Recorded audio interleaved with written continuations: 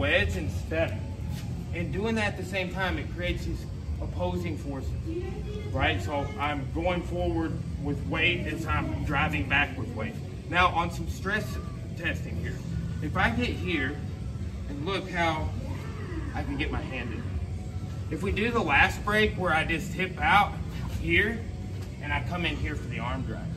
Watch what happens when I drag though. Now look, when I drag, I want to pull down and step back. You see my foot that's forward? This makes it harder for him to counter. But look, when I go here, now step forward into base. See how you have your arm already in? Okay, so as you're making your arm go this way, make your hips go that way. There's that opposing forces again, right? Now, hook my tricep. See this foot that's forward? As you pull down, step back. Yes. Okay, then grab my back. And, see, look, when he took my back, my elbow was already where it needed to be. So look, if I step forward, keep your grip, sometimes that gives me uh, room to put my hand in. So then I can hip. See, look, hand, hip, grip. So. Now here, step, drag. And I can get like a little hip technique with just a lift and set him down from the side, from the back, either one. But what we're doing is when somebody takes your back off a drag, your arm is already in. And sometimes you think like, before maybe the technique, like, oh, it's a good idea, I got his arm in. But you're actually giving him a better defense with an arm. Okay, so step, step forward and swing, yes. Good. And look. See? So, play with both. Play with wedging the elbow, stepping and driving back. And then sometimes that's just really strong person, just gonna give you enough room to get your hand in. And then you can get a little extra out of that, okay? But a lot of times you can't go for the hand first, there's no space. Does that make sense? Let's do it one, two. Okay, so let's look at, we'll look at some different options on this one technique, okay? So look, if he's got, this, this is very common. It's not that an arm in is not common, it's not that over the arms, it, all of that has its context, okay? But this is the, the, one that I work with the most. Like when I take the back from standing, it's the one, because like the hoist, and lift you up by the hips, I can sacrifice and go backward, Tani Otoshi, and this is so conducive to that, okay?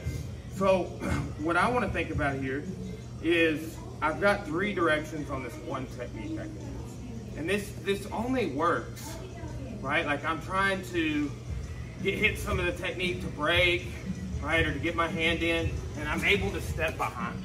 But this arm's still gonna be in front, okay? Now, once I do this, right? My hips are back and my weight's down. Okay, so if I raise my hips, boom, he's going. That's just the hip technique version with no, I didn't even do anything with my upper body. You elbow back, we'll grab his pan a little bit and throw him all the way over here, right? So here, right, I wanna be finding my base, I'm looking for that. If I can't get the wedge to break out, I look for the step on. Okay? Now look, when I connect my hip and raise it forward, that's the basic. And look, you can just do it like this. I went, right? I pick both your feet up off the floor. What else do we need? Right? I can throw you down every time, or I can just acknowledge, hey, that's good. Boom, yes. Hit it a couple of times. The more times you throw you can both stand back up, you can pick up with the hip, you can throw. Then the rest of it is like a preference on what's shown, whether it's my elbow action or a hand here, which is still gonna be elbow or both hands here, okay? So in judo, this is um, sort of a sukui-nage, or if I do the second variation, a tani otoshi, because the second variation I fall backwards here.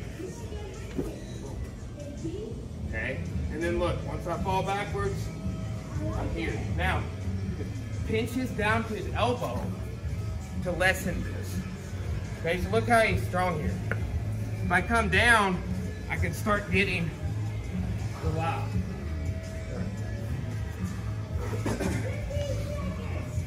Okay, so that is, um, it's kind of like a hybrid throw. Like when I look at it, I even looked at some notes from a seminar where we did this with my uh, friend Jack. And I wrote it down as Nidan Kosoto Gari variation, the one where you go backwards. Because that's, Kosoto Gari is this. Well, Nidan is that. Last day standing. Well, Tani Otoshi is when I sacrifice going there. Or I'm saying from here, the rear sacrifice is there. Okay, so for, for here, I step behind if I want the, I want the going back. I'm, I, look how his balance breaks, and then I'm there. Here. Okay, now look, I'm over his elbow, push down, and then I'm grabbing not where my edge of my palm's at his wrist, but after that. Right, like more like the center of my palm to the center of the joint. Okay, and I don't push down, I push away. Right? That's how he's getting uh, feeling that leverage, like when he's a second ago, right? It's just extending it away. If you push it down, you're not gonna be able to get your grips like you So think about, think about some of that context. Play with those and we'll do one more variation off this same throw here in a second, okay? One, two. Steve Perry is the original front man of Journey, all right? Chris Burns, every time we do uh, the hip switching on the sacrifice, calls us uh, Steve Perry's, which is kind of funny if, if you get the reference. If you don't, or you like that Filipino singer more, well, that's your fault, all right? So, look, I'm here, and, and when I move back, like if I can get over here, I can be going for either rolling or reverse ankle kicks, right? You don't want to get picked up and slant. So, and I'm always looking to see if that's an option. See? Now, there's an old school one in um, like Mifune, uh, McMillan knows what I'm talking about, where he just goes sideways, right? We're gonna do a sideways version, but we're gonna rotate back okay? So when I'm here, look how I'm hooking his elbow. Okay, now look, I'm gonna rotate in like this, and my elbow's gonna go back a bit. Here. I'm right into the side control for the kimura. Now, look, here. I want that 90, and then I'm gonna take it past, okay? Now I can start raising him up and get him to tap here, or I step over the head.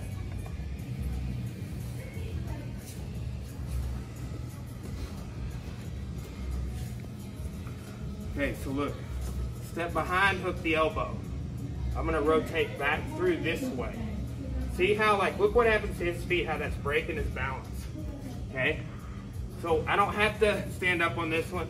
I don't have to fall back. I don't have to go this way. Right? If, if those techniques aren't working, it's about all you got left. Right? So look, rotate, spin all the way through here. Right? Take this up, sit through a bit, step over the head. It's like you're swinging a ball bat here. Does that make sense? Steve Perry on three. One, two.